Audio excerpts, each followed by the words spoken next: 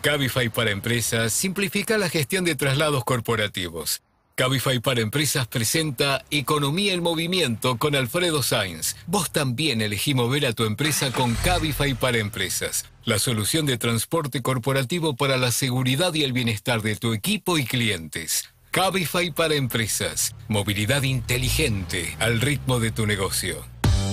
Bien, arranca el fin de semana largo de la Pascua. ¿eh? Mañana mucha gente ya no trabaja. Se espera mucho turismo en la ciudad de Buenos Aires, turismo interno y, e internacional. Se supone que el turismo internacional obviamente podría estar aprovechando que Argentina en dólares es una ganga, pero la reta se ha quejado de que falta conectividad a la ciudad porque todavía no se terminan de retomar las rutas aéreas. Vamos a charlar un poquito con Alfredo Sáenz de qué está pasando con la conectividad aérea. ¿Cómo andas, Alfred? Buen día. ¿Cómo andas, María? Sí, lo que dijo la reta tiene razón, pero está cambiando. De a poquito se está reactivando el mercado. Fue el mercado aéreo fue uno más golpeado, cielos cerrados, pandemia, casi dos años horribles que tuvo el sector. Hoy están en vuelos el 70-75% existían los números pre-pandemia. Falta mucho, pero se avanzó mucho también. A nivel mundial, 70. No, en la Argentina, en la Argentina. de los vuelos que llegaban del exterior a la Argentina. De los vuelos que llegaban y de los vuelos domésticos. El mercado aéreo en general está al 70-75% de los datos de enero, febrero del 2020,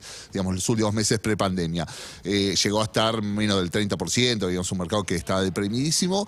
Y hay buenas noticias, eso te digo, lo, mejor no es la situación, la, foto, sino la película, lo que está pasando. En las últimas semanas se conocieron muchas eh, informaciones de ingresos, de regresos, primero, de regresos de aerolíneas que se habían ido del país en medio de la crisis eh, y que habían decidido dejar de volar a Argentina en forma algunas parecía que para siempre, otras en forma momentánea, bueno, están volviendo y están ingresando aerolíneas nuevas. Te digo dos, que, dos casos nuevos que están. Uno es eh, la vieja Alitalia, que es la empresa estatal italiana que quedó, ahora se recambió el nombre porque tenía un montón de deudas, la, gran Austral, digamos, podría haber hecho, digamos, y ahora se llama ITA y vuelve a volar a la Argentina con Roma. Eso también coincide que Aerolíneas también va a volver a volar a Roma, ya lo anunció, va a volver, Aerolíneas va a volver a volar a Brasilia, a Curitiba, a La Habana, va a estar como muy activa de vuelta en rutas internacionales.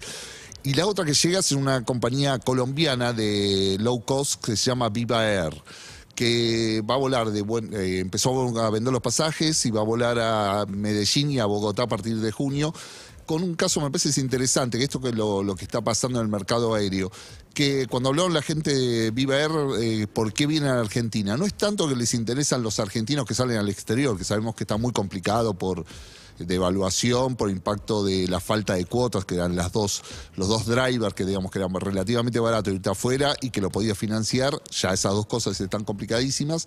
Entonces lo que les interesa a Viva Air, esta empresa colombiana, son los colombianos que quieren venir a Buenos Aires. Esto se queda con lo que decías vos de, la reta.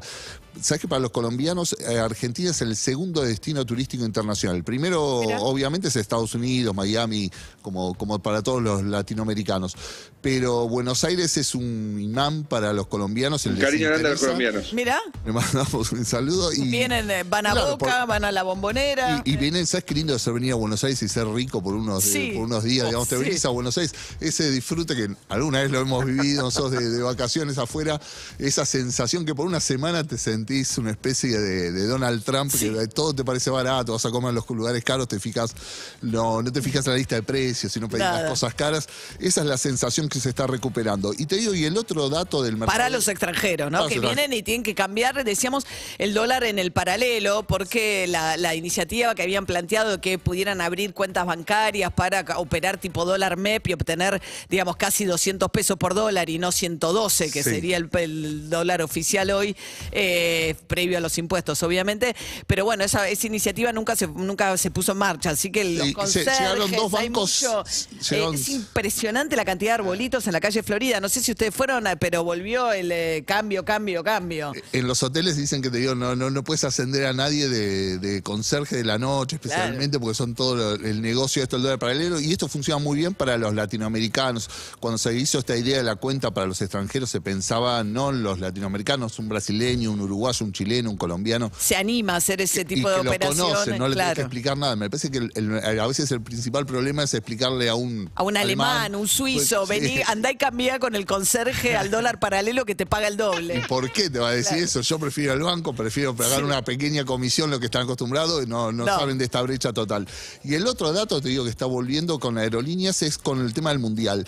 Eh, Emirates, eh, que, que es mm, ahí pegadito a Qatar, la, la aerolínea de, de los Emiratos Árabes, ya confirmó que vuelve a volar en octubre a la Argentina, pidió la autorización. En principio va a ser una autorización en corto, que le dicen en la industria, que es por unos meses. Para llevar la gente al mundial. ¿Cuánto sale un pasaje a em, eh, Qatar? Y un poquito más, te digo. ¿Cuánto? Decían, eh, se hablaba, eh, originalmente estaba 300, ahora está ya 500, 600. A medida que se va ¿600 mil pesos? Sí, 3 eh, mil no. dólares. Sí, a medida que se va acercando la fecha, lo- los pasajes van aumentando el precio, digamos. ahí Pero falta un montón. 3 mil dólares. Imagínate, a- hoy- ahora tenés ese, ese precio, imagínate lo que puede ser en dos meses, tres meses. 6.900 dólares. Sí, 3 mil dólares ir a Qatar y después allá el alojamiento. Bueno, mira, el eh, comité organizador de la Copa del Mundo de, de Qatar, eh, a través de un portal, de una, de una dirección que es Qatar 2022. Sí. Punto QA, que es Qatar, Sí. barra book, está poniendo alojamientos económicos para aquellos que puedan ir a- ¿Pero qué es al económico? Mundial. Claro. Económicos es hoteles tres estrellas, Sí.